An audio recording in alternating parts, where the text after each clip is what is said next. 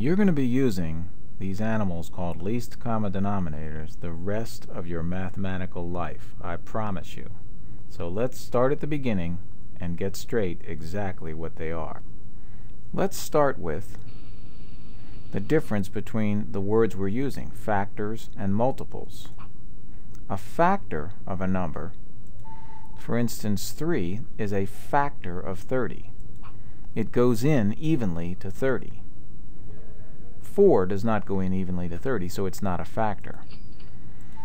5 is a factor of 30. It goes in evenly. 2 is a factor of 30. Usually the factors, usually I say, are smaller than that number because they have to go into it. So those are the factors. Don't mix them up with multiples. 60 is a multiple of 30 because 30 goes into it. 90 is a multiple of 30 because 30 goes into 90. And 120 is a multiple of 30. As you can see, there are way more multiples than there are factors.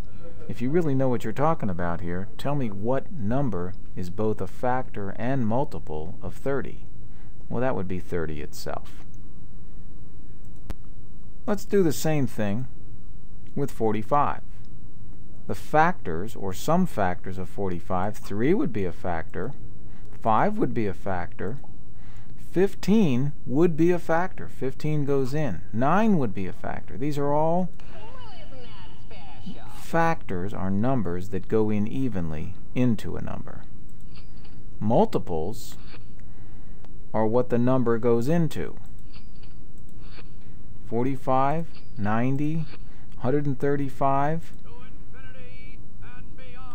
There's many more multiples of 45. Now, let's talk about common multiples. We're not going to do factors. We're going to talk about multiples. Common multiples of 30 and 45 would be multiples that are both a multiple of 30 and of 45. So if you see 90 is a multiple of both, so it's a common multiple.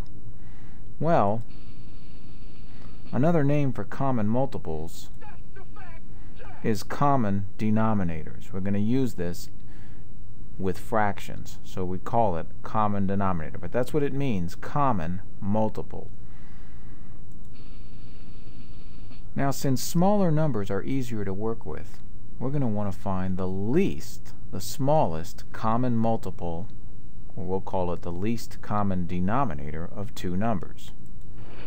And here's what you're going to do.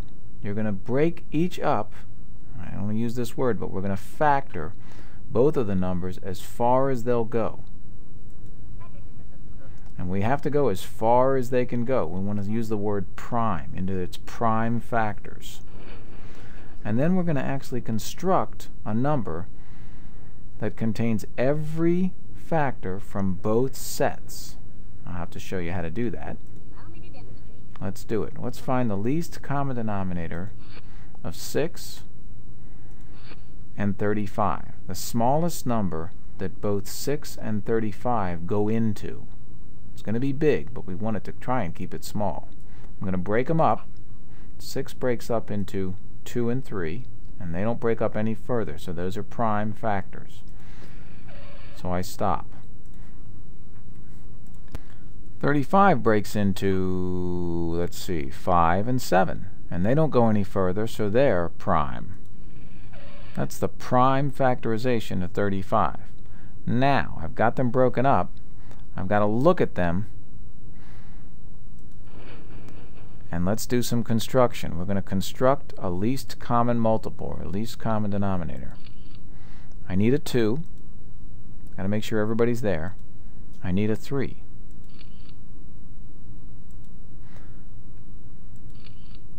Need a 5. And I need a 7.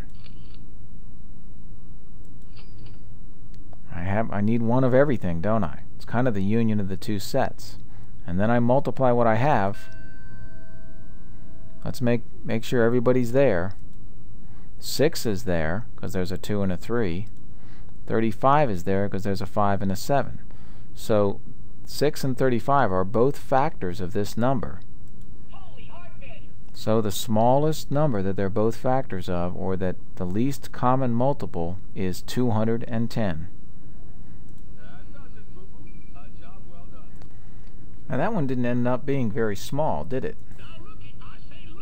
Let's try and find a smaller least common denominator, hopefully, of 20 and 15. Note that the smaller they are, the easier they'll be to work with. Well, let's break 20 up. I'll break them into 4 and 5. Now, 4 can go further. So I have to break it up so it can't break it up anymore. 4 goes into 2, breaks up into 2 and 2. And now I've broken up 20 as far as it can go, so I'll stop. 15 breaks up into 3 and 5, and neither of those can be broken up, so they're prime as well. Now I've got to make sure everybody's in this number, so it's time to, to construct the least common denominator. I'm going to put a 2 in there, and actually I need two 2's.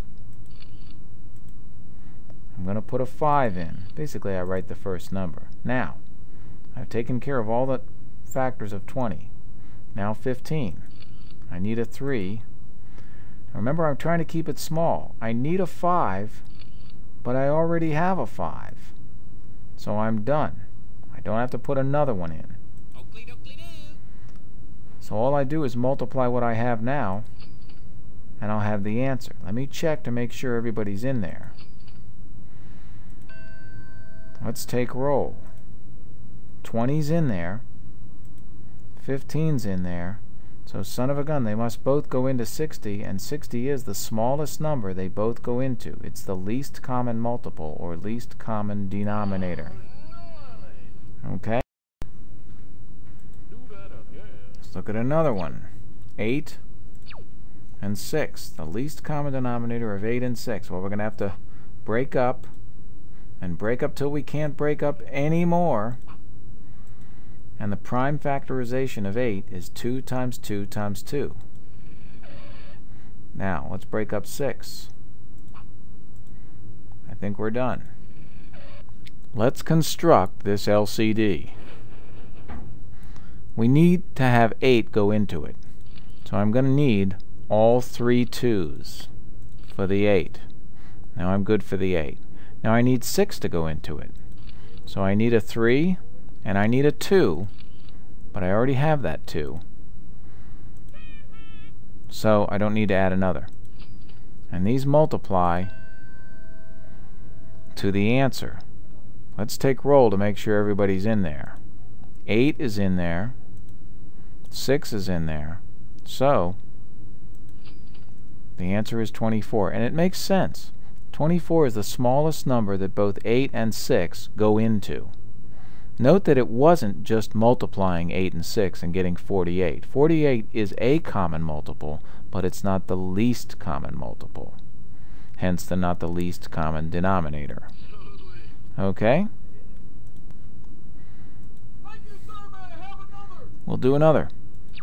42 and 6. If I asked you for a least common denominator, once again, you'd have to break them up. 42 is 6 times 7. 6 breaks up further into 2 and 3. And there's your prime factorization. 6 is just 2 and 3. Now, this is a tricky one. Sometimes they're so easy they're hard. Let's construct that LCD. I need a 2, I need a 3, and I need a 7. Now, I need a 2 but I already have a 2. So don't add another. I need a 3, but I already have a 3. So don't add another. I think I've got the answer. Let's make sure. Is 42 in there? He is. Is 6 in there? He is. So they both go into this number. What is the number? Kind of weird, isn't it? 42 is the least common denominator of 42 and 6 because it's the smallest number they both go into. The reason is because 6 goes into 42. So that's the answer. Sometimes one number just goes into the other and it becomes an easy answer. So let's get busy and do that homework.